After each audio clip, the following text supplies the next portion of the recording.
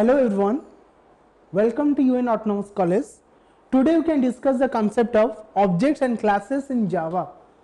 That means we know that Java is a true object oriented programming language and that is also related to OOPS concept. In that OOP concept we have uh, some features that is known as some object as well as classes. So that kind of concepts we can learn in our Java. Now we can focus on that our topic outlines that is known as object in Java, classes in Java and some examples. First of all we know what is the meaning of an object. Actually that object known as an entity that has state and behavior which is known as an object. We know that every real world entity is known as an object and that means suppose just to an example like a chair is an object, bike is an object, marker is an object, pen is an object, table is an object, car is an object and etc. Every real time entity is known as an object. That means just we can say it is related to physical or logical aspect that may be a tangible or intangible relevant objects. Also we have a related to our object concept. That means uh, just we can say some intangible object that is known as banking system. Okay, that banking system is known as an intangible object and tangible object like chair, bike, marker, pen, table, car that is known as some tangible object. Generally an object have three characteristics or three features like state. That means that state specially represents the data of an object or we can say value of an object. Because every object contains some state that may be active or inactive. That means every object is related to state actions. That means uh, and that state also related to some behavior. In the case of behavior which is represents the behavior functionality of an object such as deposit withdraw etc that is related to behavioral concept of an object. Next we can say that is known as identity. Identity means an object identity is typically implemented via unique id because with the help of that identity we are specially invoke that technique that is known as some unique id and that unique id helps to identify a specific type of object or specific type of variables present in our system. That's why object is essential for a program. Actually object is only created with the help of some classes like suppose a pen is an object and its name is Reynolds. Color is white known as its state. It is used to write so writing is its behavior. Okay? We can differentiate it suppose we can take the another example like car. Car is an object. Similarly the car name is known as BMW and that BMW specially related to that is known as color that is known as white and that is related to state of a that car object. Similarly, at that car is specially used to driving here and there and for a one position to another position that driving is not related to action which is related to behavior of that car object. So that an object is an instance of a class actually without class we never create an object classes exist that's why we can easily create an object. So a class is a template or a blueprint from which objects are created. So an object is the instance of a specific type of class. Uh, whenever we can discuss the general points of an object someone can ask you so really I want to know about what is an object just we can say object is a real world entity or we can say it is a real world entity technique or real world object also we can say an object is a runtime entity otherwise you can say an object is an entity which has state as well as behavior. So object is an instance of a class we know that instance means uh, without object we can't use some properties of a class. Before going to discuss about class first of all know what is the meaning of class. The class is a specific type of blueprint from which some individual objects are created for each and every classes so that a class can contain any of the following variable types. Like we have some variable types like some local variables, instance variables, class variables. First of all know what is the meaning of local variables then how to identify which one is a local variables, which one instance variables and which one class variables. especially some local variables are related to uh, those variables are written or we can write inside some methods constructors or blocks are called as local variables and the variables will be declared and initialized within the method and the variable will be destroyed when the method has completed their task. Suppose you have a method that is known as public void add method. In that add method you have some parameter that means you have some statement like int a comma b comma c. In a you contain some constant like 10 in b you also you contain some statement or you can say constant like 20 in c you have a expression a plus b then finally you are writing system dot out dot println add. In that case uh, the a b c is related to local variable in the concept of class. Next we can learn instance variables. Instance variables are variables within a class but outside any method. Actually uh, suppose uh, we have a class in our example just we can look that is a public class class name declared as dog in that dog class we have some uh, predefined not predefined that is the user defined parameters or variables like string type variables.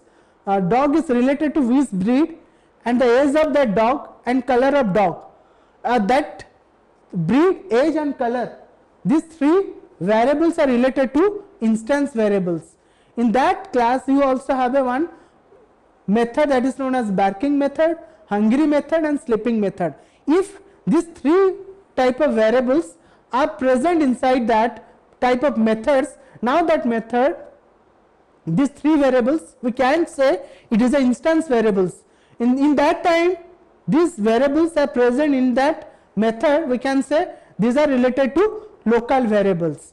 Last one type known as the class variables. Actually the class variables are variables declared within a class outside any method with the static keyword we know that uh, with the help of that class variables we can easily use some properties of a specific type of class. So, a class can have any number of methods to access. We know that inside a class we can easily declare a number of fields data fields like data fields means you can write some variables related to your classes and uh, inside that classes also you can declare number of methods uh, to solve your data field activities. Which can perform some behavior in our classes. That is why we are taking the help of that methods. So, we can focus on that example. In that example is specially related to main outside the class. That means we are writing a main method that is out related to outside the class means we are never create a object of that class which class contain a main method. Now in that program we have two different type of classes. One class contain public static void main method. Another class contains some activity. And that program is specially related to addition program. That means that addition program is represented through two different classes. So first of all you must to import one package that is known as import space java.io.star semicolon in that package also you are related uh, methods we have that is means your system.out.println method and some other methods which are related to IO package, input output package. First then you can create a class with a class name add. In that class add you have some statement or some variable like int num1, num2 another variable that is sum and we are declaring three type of variables inside that add class and similarly we are declaring a method. With the help of that method that named as input method through that input method we can take or you can use some variables like num1 num2 uh, in that num1 you can store 10 and num2 you can store 20 that means it is specially using for storing or assigning some constant in our variables which is related to num1 and num2 next we can declare another type of method that is known as addition method. In that addition method we have some statement like sum equal to num plus 1 that means we are going to add two variable num1 and num2 variable. Num1 contain 10 num2 contain 20 now we can adding 10 20 which is uh, automatically added with uh, constant like 30 system dot out println addition result equal to plus sum means you are going to printing 30 finally but that class is unused whenever you are not creating the object of that art class. That's why you need to take the another class that named as object class example. In that object class example you have a one method that is written as public static void main method. And that void main method contains some parameter like a at gs that a at gs related to string type and string type array. And that main method we have some statement like you are going to creating an object. How to create an object? Actually that object is specially created through a class type variable means class name.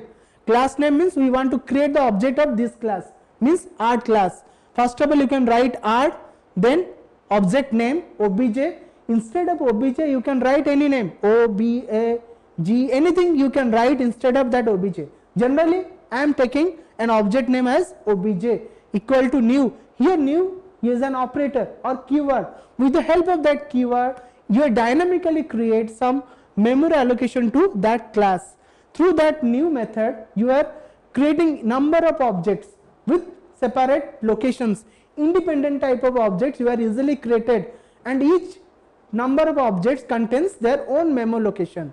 In their own memo location can store their different type of values in it finally we are writing the next statement. We are going to invoke this method like input method or addition method. Then first of all you can write obj dot input method. That means with the help of that statement we are going to invoking that input method. This input method is invoked when the control is touches to this line obj dot input method.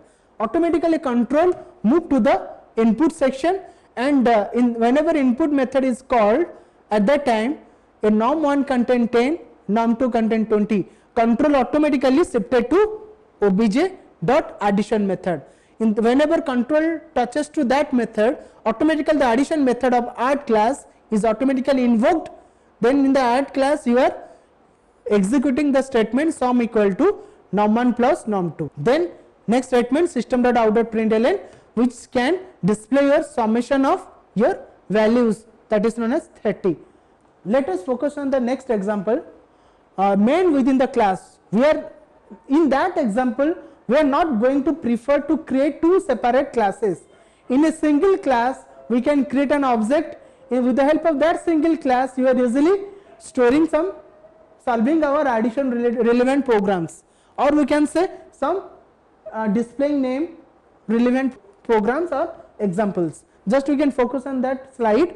In that program, first of all, you can import and package import space java.io dot star semicolon and whenever that package is imported then you can write a class with a name student in that class you have two parameter like int id and string name that means uh, with the help of that student class we are going to display student id and student name with the help of an object uh, these two type of variables id is related to int type name is related to string type. These two type of vari variables known as the instance variables.